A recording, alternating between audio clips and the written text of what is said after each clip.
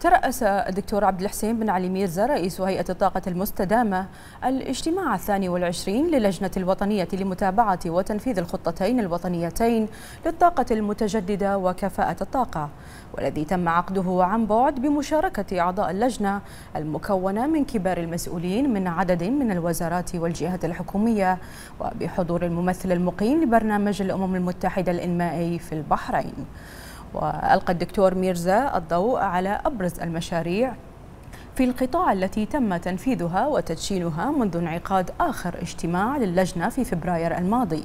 وكان من أبرزها افتتاح المصنع الثاني لتصنيع الألواح الشمسية في مملكة البحرين بالإضافة إلى تدشين أول مشاريع الطاقة الشمسية.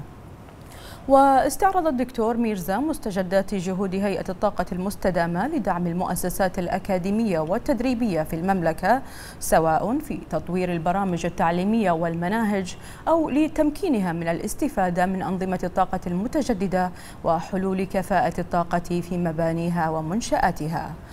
وفي سياق جهود بناء القدرات من خلال برامج التدريب أعلن الدكتور ميرزا عن توجهات هيئة الطاقة المستدامة لمواصلة تقديم البرامج التدريبية المهنية والتي من ضمنها البرنامج الدوري